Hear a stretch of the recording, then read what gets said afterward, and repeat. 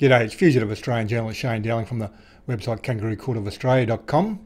Now, today I've got a special treat. It's probably one of the most powerful videos I've ever published.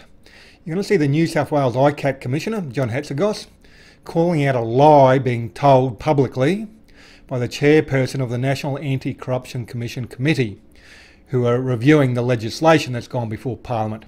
They've called for public submissions. They've got over 100 people who have supplied submissions. I've supplied submissions. They haven't published mine at the moment. But the chairperson, Linda White, Senator Linda White, told a huge lie at the beginning of a question. Now, it's a lie that I've called out last week when I accused the Federal Attorney General, uh, Mark Dreyfus, of cooking the books. And I published an article on the 10th of October 2022, and that's how it starts off. Federal Attorney General Mark Dreyfus uh, cooks the books, uh, trying to justify private hearings, which are in effect sec secret hearings. The legislation states, as it is, that uh, they have to have private hearings except for exceptional circumstances, which means it'd be rarely they'd rarely have uh, public hearings, which is exact opposite pretty much what uh, the New South Wales ICAC does, and what uh, the Attorney General was uh, promoting a lie, saying, well, look at the New South Wales Independent Commission, they only have 5% of their hearings uh, in public, the rest are in private. Well, that was a big lie. I investigated it. I approached the New South Wales ICAC, uh, spoke to the media person via an email, got a response. They gave me a copy of their report or gave me a link to it. The New South Wales ICAC latest report, which is the 2020-2021 year.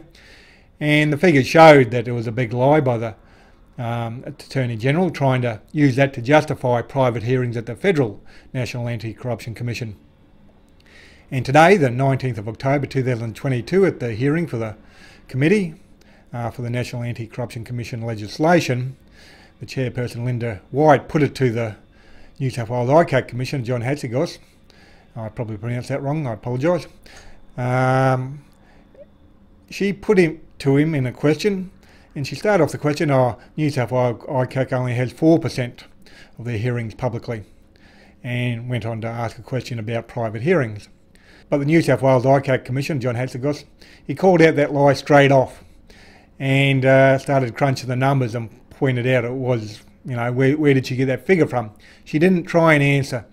She said, oh, well, uh, please just address the substantive part of the question. So let's have a listen to it, uh, the to and fro at the National Anti-Corruption Commission committee hearing today on the 19th of October 2022. My question is, uh, only around 4% of hearings undertaken by the New South Wales ICAC have been in public. What, what, role in your experience or in the Commission's experience do private hearings play as an investigatory tool available to the Commission? Well, first of all, I don't know where you get that figure of 4% from. Um, if you look at the extent of what we do hearings, about 40% of the hearing time, um, just over 40% actually, is done in public. Um, now, if you're talking about uh, what percentage of complaints that we get end up in becoming public hearings, full investigations, it's less than 1%. So all right. So if I've got the figures yeah, the wrong, statistics which sure. which I'm aware of, I'm not aware of where the where the other figure comes from. Okay. I um, apologise. But let me just. Can, okay, can you well, address just... the substantive part of the question, which was, do private okay. hearings play an invest? How do how do the private hearings play an investigatory? How do they work, as far as you're concerned, well, in terms of investigations? They're called. Well, first of all, they're called compulsory examination. They involve bringing uh, persons in using the commission's coercive powers and ascertaining what that person has to say about particular matter that's the subject of investigation. Um, it's usually for the Commission to obtain additional information supplementary to the information which the Commission has already acquired in the course of the other powers that we've exercised, such as telecommunications intercepts and um, surveillance, uh, controlled operations, and so on. Um, at the end of the process of, compulsory examinations, we sit down and we make an assessment as to where the matter is to go.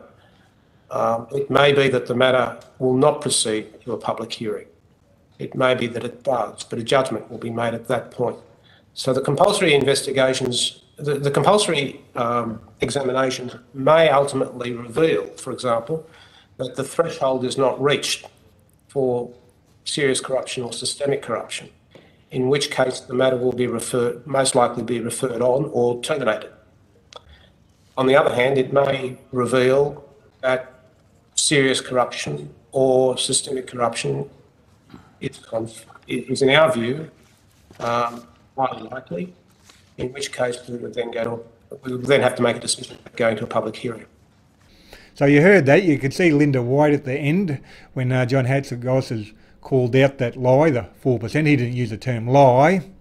Um, that question has obviously uh, been written, I suspect, by the Federal Attorney General, Mark Dreyfus. Instead of 5%, he's changed it to 4%.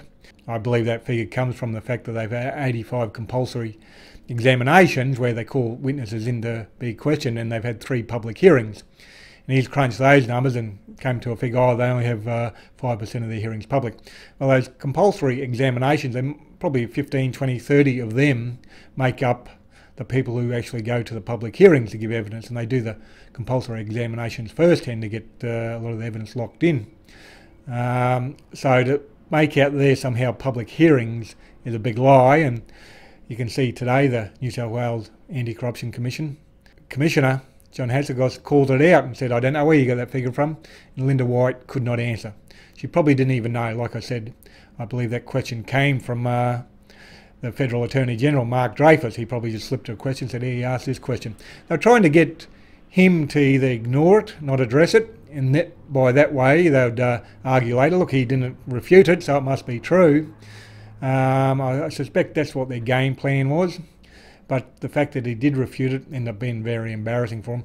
And we need to look at that because uh, if the Federal Attorney General, Mark Dreyfus, has to perpetrate a lie publicly uh, to try and justify private hearings, secret hearings, and then he's got the chair of the National Anti-Corruption Commission Committee to do the same, Linda White, uh, if they need to be telling lies, deception and deceit to try and justify the private hearings, they know they're not justified in the first place, so they know they're telling lies. And I think it's something that the Prime Minister and all the Labor Party uh, MPs and senators should be having a good look at. They can cross the floor and vote for a true independent uh, commission against corruption uh, that is going to have most of their hearings public. Now, it's worth watching this next question by Senator David Shoebridge in relation to the benefit of public hearings and the response from uh, Commissioner John Hatzis, who basically says, I don't know how they're going to have make findings of corruption in private hearings. At the end, it's worth watching just for that because that throws a hand grenade into this argument that uh, most of the hearings should be private. They certainly shouldn't, and it's a bad joke to sort of argue that they should. So let's have a listen to this question. Um, one of the arguments that's put in favour of public hearings is that a public hearing ventilates an issue often witnesses, witnesses are examined and given certain versions on the public record. And then other relevant parties, maybe from the public service, maybe externally, can hear that evidence and may then approach the Commission and provide them with assistance after hearing the public evidence. Can you, can you give any, um, any views on whether or not that plays a benefit in the role of the New South Wales ICAC? Well, I, yes, absolutely. And that's happened time and time again. I mean, the classic example of that was in Operation Dasher, which you might recall was an investigation which started off uh, in relation to affairs of Canterbury Council and then morphed into an investigation uh, extending to members of parliament. So um, that all emerged during the course of the public inquiry. Um, wasn't information that we had um, acquired initially when we started that operation. So that happens. But as I indicated earlier, beyond the question of getting additional evidence and per further persons coming forward, the organisation has to be accountable. And in my view, public hearings are a way of keeping the organisation accountable. Um, I mean, I no, um, and indeed, to differ with people who think that you can make findings against people, serious findings against people, in private. Now, I'll be publishing an article tomorrow uh, Thursday, the 20th of October 2022. I'll have further information, other links, links to the previous article. So it's worth uh, visiting my website tomorrow and reading that. Uh, you can go there today and you can read the previous articles and make sure you sign up for the free email subscription. Every time I publish an article, you'll get an email letting you know there's an article there to be read. And the Patreon account I set up about eight weeks ago is currently sitting at 194 supporters. That helps fund me doing these videos and running my website, etc. And they've committed to $1,577 a month. Moving forward, that's going to be my main source of income. So if you could support that, that'd be great. Starts off at $3 a month, 5 7 10 15 20 whatever suits your budget. Most people can afford $3 or $5 a month.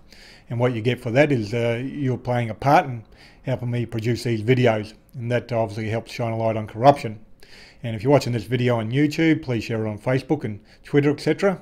And please hit the like and subscribe button. Other than that, thank you for your time and have a good day.